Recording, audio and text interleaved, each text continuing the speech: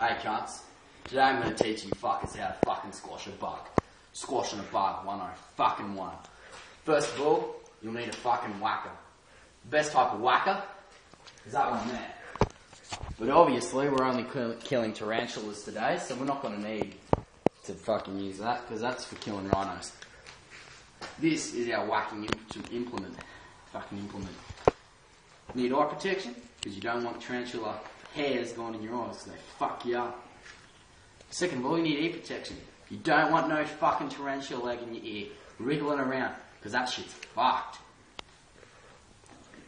I'll just take my hat off, because that shit's fucked. Eye protection, ear protection, fucking 101 cunts. I can't hear you anymore, so um, here's my tarantula up here. They have really sensitive hearing, so just you gotta be quiet when you're fucking near these cunts. Alright, I'm gonna give him a fair old fucking whack. And what I do, watch out cunts. Whoa! One shot, one kill. I play COD, motherfucker.